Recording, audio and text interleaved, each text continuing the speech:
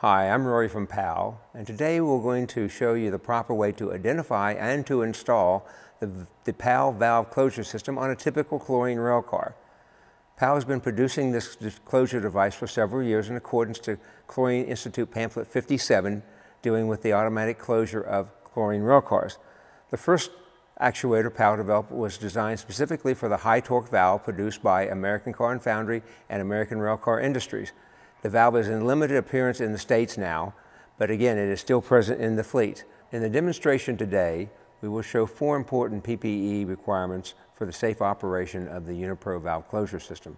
One, is glove, one would be gloves, second would be hard hat, three would be safety glasses, and four, steel-toed shoes. However, companies have specific safety requirements when using this equipment. The first valve we're going to look at today will be the ACF ARI high torque chlorine railcar valve. The valve is easily identified by four circular holes that are inside of the hand wheel. This valve requires 120 foot-pounds of torque to close, and the Unipro will close the typical ACF ARI high torque valve in approximately seven seconds. The installation of the standard Unipro actuator on any typical chlorine railcar is a two-step process. The first is assure the alignment of two of the drive pins on the adapter plate correspond to at least two of the four circular holes in the railcar valve hand wheel. The next step is to secure the actuator through the tightening of the dome clamp with the thumb screw on the back. With this, the system is now ready to have the final step, which is the connection of the air line. The connection of the air line is through the use of a quick disconnect, which provides visual confirmation of positive connection of the air line to the actuator. The operator will hear a click that when you have the proper alignment, the system is now ready for operation, either manual or for automatic operation in event of a leak. The removal of the standard Unipro actuator from a rail railcar valve is, is also a two-step process.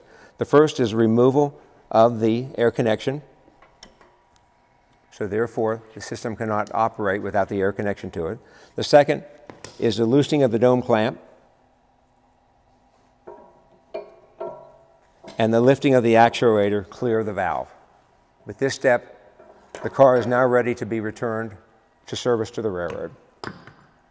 In the last 20 years, the North American railcar fleet of chlorine cars has changed drastically.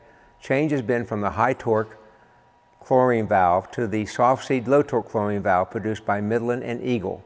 The valve is identified by a solid hand wheel and indentation for the placement of the valve adapter. In response to that, Powell developed the Unipro LT model, which is lightweight and performs the same valve closure activities as the standard Unipro actuator did. It's installed the same method as the previous model. It's placed in position the adapter plate fits in the indentation of the rail car valve. And then the hand wheel is tightened. And the final step is the connection of the air line or nitrogen line to actuate the system. When you use the Powell valve closure system, remember IPAC. Identify the valve, place or install the actuator on the dome, align the adapter to the valve handle, and connect the air line to the actuator.